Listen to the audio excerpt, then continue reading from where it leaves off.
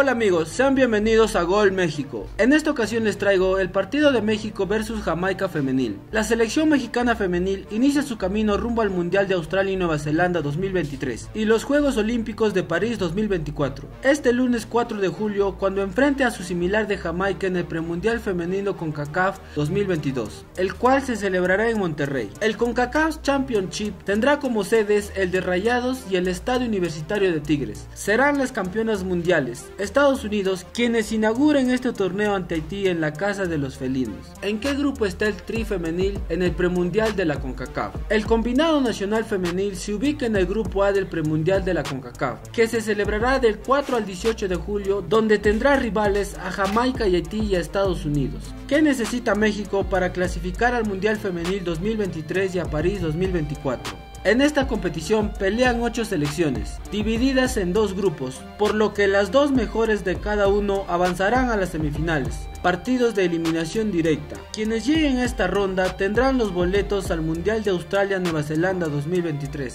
Para llegar a los Juegos Olímpicos de París 2024 deberán llegar a la final para poder lograr los dos pases a esta justa veraniega. Cuando juega el tri femenil en el premundial de la CONCACAF 2023? La selección mexicana femenil debutará en la CONCACAF Championship ante Jamaica. Su segundo duelo será ante Haití, cerrando la fase de grupos contra Estados Unidos. ¿A qué hora es el partido México versus Jamaica? del premundial femenil. La selección mexicana femenil tendrá su primer compromiso ante Jamaica en el premundial femenil de la CONCACAF este lunes 4 de julio a las 9 de la noche en el estadio de la Casa Monterrey y las Rayadas, donde ver el México versus Jamaica del premundial femenil de la CONCACAF. El partido entre México y Jamaica femenil en su camino por los boletos al Mundial de Australia Nueva Zelanda 2023 y a los Juegos Olímpicos de París 2023 podrás verlo en vivo a través de ASPA y la plataforma de Star bueno amigos, hasta aquí la noticia. No olvides comentar y suscribirte y regalarme una manito arriba y sin más, hasta la próxima.